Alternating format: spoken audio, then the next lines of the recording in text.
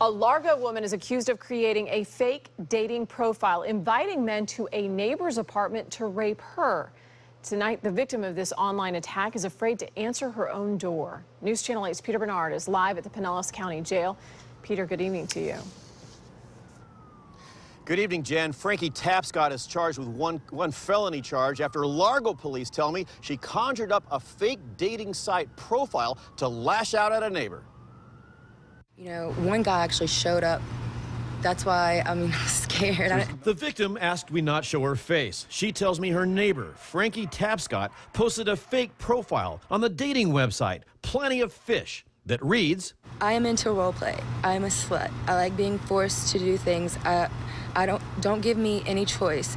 It in in what to do, come to my apartment and I will do what you say. She tells me problems started soon after Tapscott moved next door. She says she was cordial at first, then things started getting weird. And she would come in my house while I was sleeping and clean my house. Then there was the dog feces put on her porch, the missing plants and other items, and gifts Tapscott wanted to return. But the plenty of fish posting caused her to worry for her safety when men started calling her. And then the dude showed up, like from 9 o'clock to 1 o'clock this was going on, and he showed up at about 10. So I think this is the tip of the iceberg. This kind of crime is no surprise to Kurt Long. He runs Fair Warning, a company dedicated to protecting clients from online fraud. When we think about social media, it's become a hunting ground or a playground uh, for organized criminals, you know, just petty criminals and people of all kinds. The fake Plenty of Fish profile is down and the calls have stopped, but the fear is still there.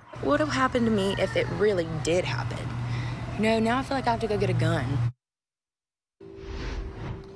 And the victim tells me her neighbor used photos they'd taken at the apartment and at the beach, the two of them together, for the Plenty of Fish website. Frankie Tapscott is charged with aggravated stalking. Jen?